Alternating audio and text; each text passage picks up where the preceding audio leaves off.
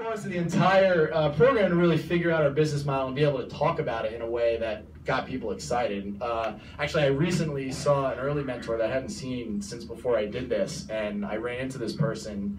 And when I talked to them, like, wow, you sound like you actually know what you're talking about compared to a year ago. Like, I'm very impressed of how well you know your business. So after going through that, um, it gave us the tools to do it all over again when we pivoted. We were making LED lights, and then we realized, well, we could probably have a bigger impact with this idea of taking out the intelligence uh, of our lights and applying it so that every light on a set can work together, not just work with our lights.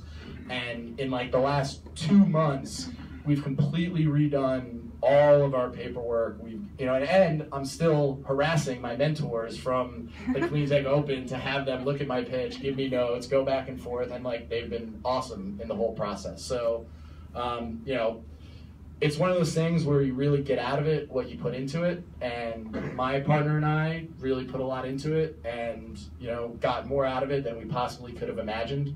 Um, and we also got to, uh, we were fortunate enough to get a little prize where we got to be here, and now we're going to hopefully stay here, right, Pat? Maybe? We're working on it. Um, we got to get green. We got to get green, to get green. Um, but, you know, and again, everyone in this whole process has been amazing. And um, yeah, I just want to say, do it. Just do it. Cleantech Open tries to connect entrepreneurs with resources like talent and funding and mentorship and partners.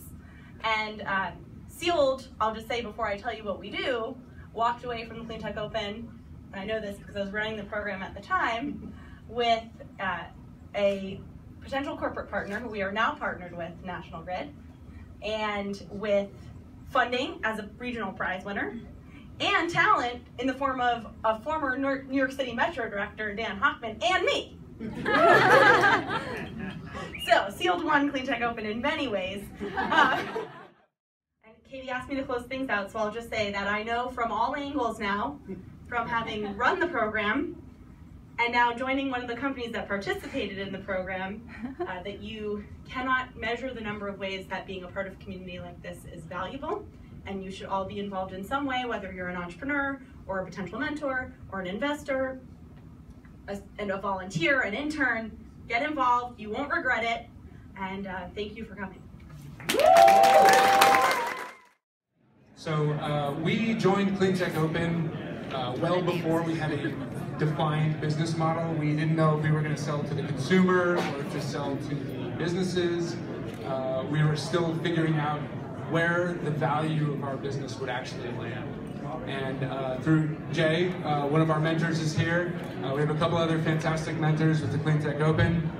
Uh, we, we had some great guidance in figuring out how to hone that, that value proposition and understand exactly where we were going to be able to break into this market with the best possible momentum to carry this product forward. And so with that, we worked on our pitch. We were able to work on how we actually get our first customers, what that go-to market looks like. And uh, not only did we have some fantastic support and, and a lot of momentum through the summer, uh, we actually were able to carry it all the way to the finals. We had a little bit of cash to take home as well. So uh, thank you guys.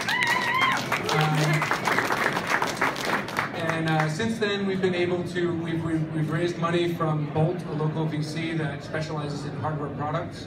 Uh, Mass CEC has been a fantastic partner. We've raised money from them as well.